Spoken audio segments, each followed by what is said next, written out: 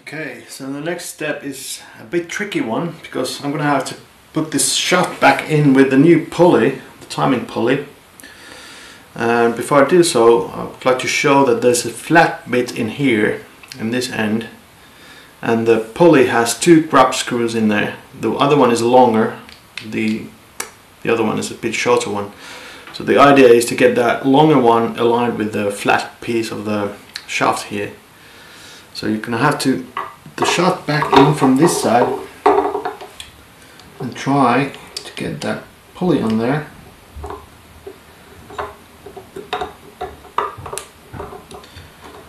Somehow. Gentle force is required here.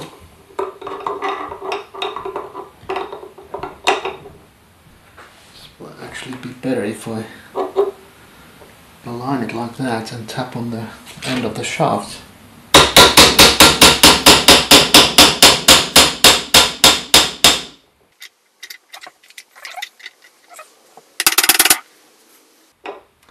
Gonna have to turn this the other way around to be able to do this.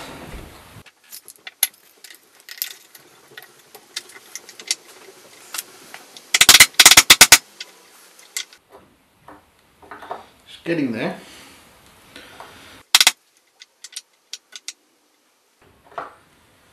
Except that I'm an idiot.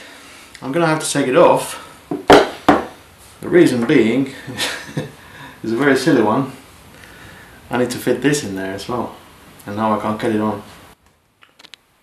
Right, so I didn't have to actually remove the shaft completely to, in, in order to get the belt fitted in there as well. Just backed it off a little bit and uh, you're able to move this thing around and put the belt in there as well. So yeah, something like that. And then gently tap the, uh, the shaft back in there. Okay, so got the part back in there the other way around and the belt is in there. Shaft is halfway there. Let's put it back in place. Okay, so this is a little tricky to show, but the pulley is in, in right place at the moment.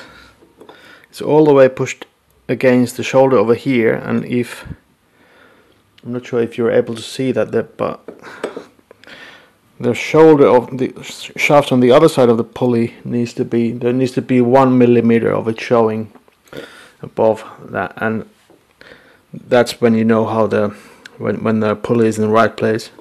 So all we need to do is to tighten up these grub screws.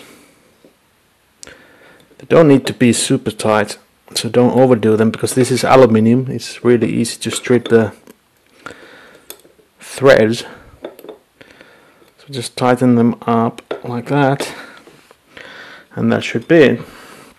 The only thing to left to do is to put the bearing back in there and then uh, close the caps. Okay. Bearing. You have to remember which way around this was. To put it back exactly where it used to be. And that's just very easy to get there.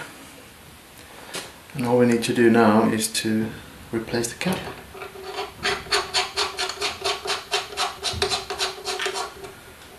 tighten it up using the optional tool that I bought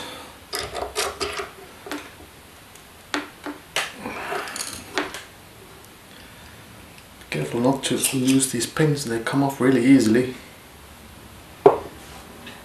And then it's just a matter of turning this around.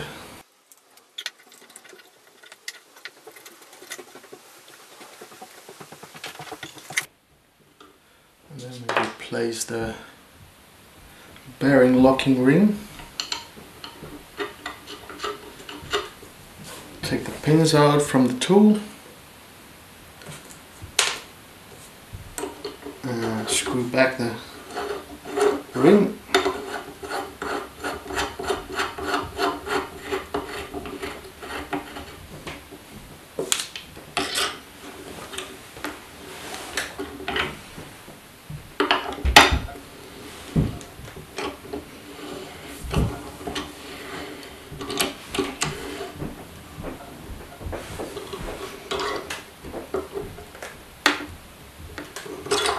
That should be tight enough.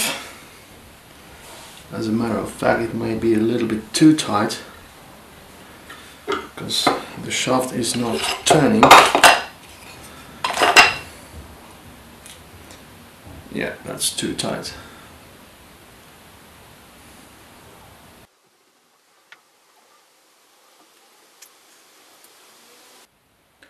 Let's see, I'm gonna actually take the cap off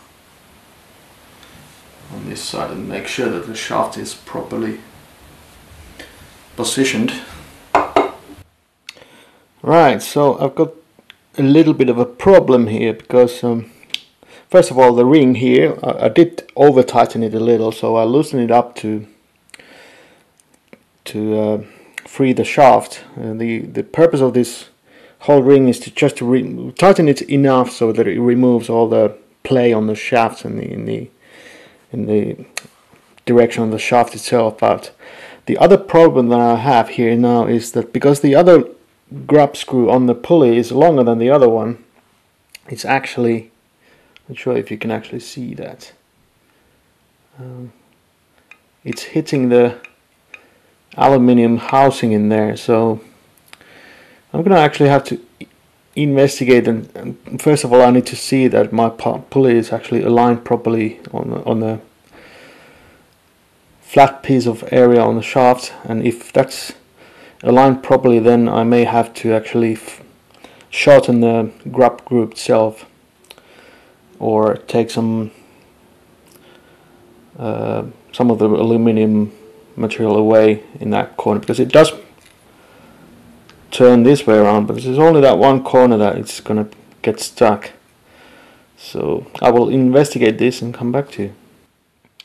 Okay uh, the solution was easier than I thought. It turned out that when I when I took off the entire grub screw from there it, there was a little piece of metal in the thread that prevented the grub screw to go all the way in. So now that's that, that's removed I was able to screw both of the grub screws all the way down and the shaft is rotating freely now.